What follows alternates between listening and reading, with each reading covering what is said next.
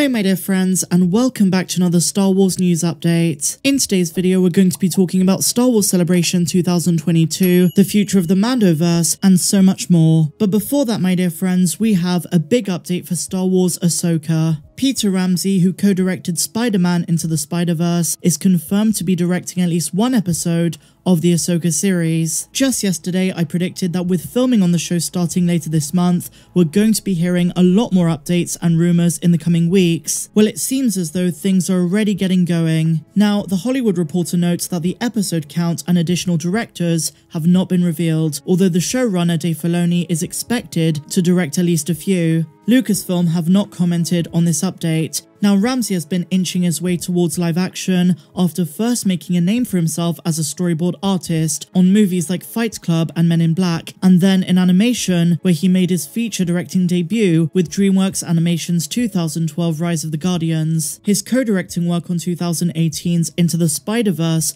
helped to make the movie a pinnacle in the animation field, and since then, he's set up two live action feature projects, including Blood Count, a period vampire thriller, and Love in Vain, a biopic centering on blues pioneer Robert Johnson. His involvement in the Ahsoka series is really anticipated as his talents are well recognised in the industry. And personally, my dear Meglorians, I think he's the perfect man for the job. The tone and the genre of Ahsoka is going to be much different to that of The Mandalorian, which is a space western. Ahsoka will naturally be a more dramatic series, maybe even incorporating fantasy elements surrounding the Force. All we know so far is that her and Sabine Wren are searching for Grand Admiral Thrawn and Ezra Bridger, and we've all had fan theories as to what the show is going to include. I'll keep you guys updated on more Ahsoka news. But now, my dear friends, let's talk about some updates for the Mandoverse. So over the last few days, I've been talking a lot about Star Wars Celebration in May, and StarWars.com have been releasing a lot of announcements. In yesterday's video, we covered the Bad Batch panel that's going to feature the creatives and actors from the show. And before that, we spoke about the live action panel that's going to be for Andor, the Kenobi series, and The Mandalorian. But one separate panel that was announced that we really need to talk about is called Mando Plus. This is going to be a special, unique panel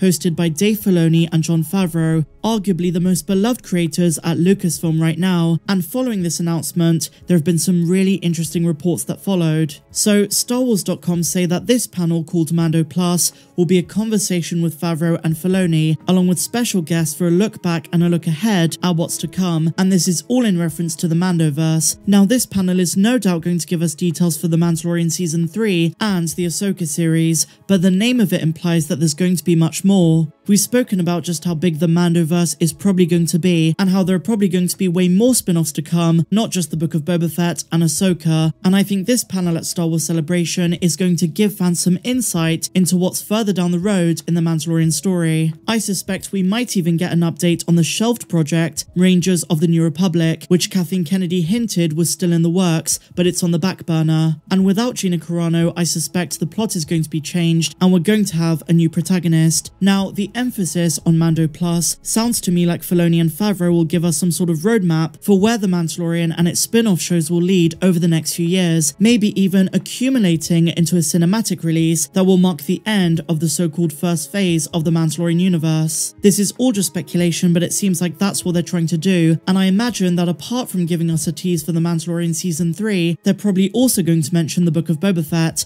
and we might even find out if there's going to be a second season. I've said it many times times on the channel, whatever you thought of the Book of Boba Fett, season 1 had so much potential, and it does deserve a second season. What that could be, I do not know, but there are so many possibilities. I imagine now the Pikes are dealt with, a bigger crime syndicate, maybe even the remnants of Crimson Dawn, could see the opportunity in the power vacuum, and they could be Boba's adversaries in that second season. I think Favreau and Filoni's plan for the Mandoverse is bigger than we realise. We've heard rumours that there's going to be more than just these series. There was one report of a Bo-Katan show, or maybe even a Thrawn series once the current slate of projects have finished.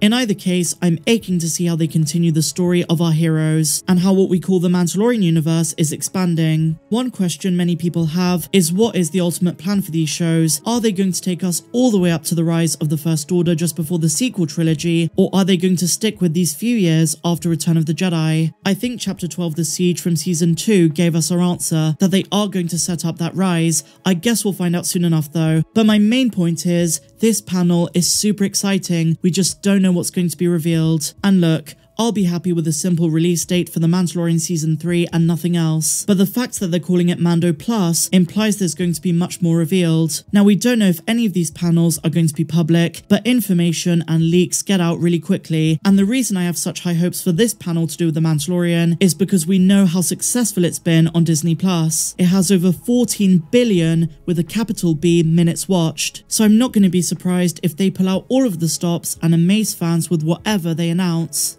As always, this is the way. And so, my dear friends, we have an update for Obi-Wan Kenobi. Some more information has emerged, courtesy of MakingStarWars.net. If you think back to a couple of months ago, they confirmed that Qui-Gon Jinn is going to be in this series, both as a Force voice and a physical apparition as a Force ghost. Well, now they've provided some more information, and this is really huge. Major spoilers ahead, so if you don't want to be spoiled, this is where you should turn away. But if not, let's get straight into the nitty gritty. So the topic at hand is what does Qui-Gon have to say in Star Wars Obi-Wan Kenobi? So they start by setting the scene. Liam Neeson's Qui-Gon Jinn first appears to Obi-Wan as a voice during the lightsaber duel with Darth Vader, and they're talking about the second of the two fights. The voice coaches and inspires Kenobi to prevail during that battle. But this is just the voice, we don't see him, we hear him. And then in chapter 6, which is the final episode of the series, after all is said and done, the blue ghost of Qui-Gon Jinn does manifest for Obi-Wan, and this is back at the cave in the final scenes of the show.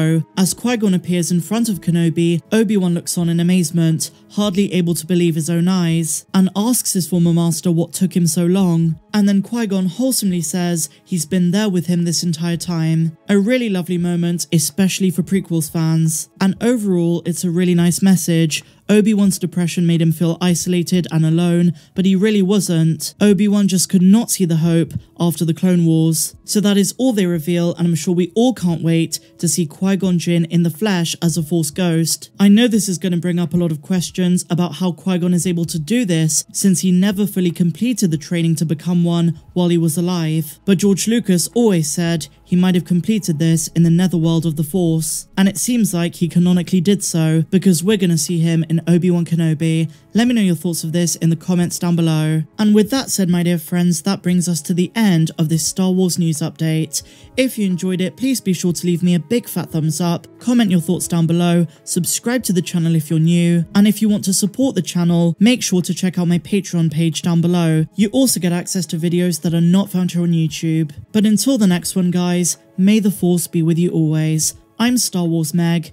Have a good one.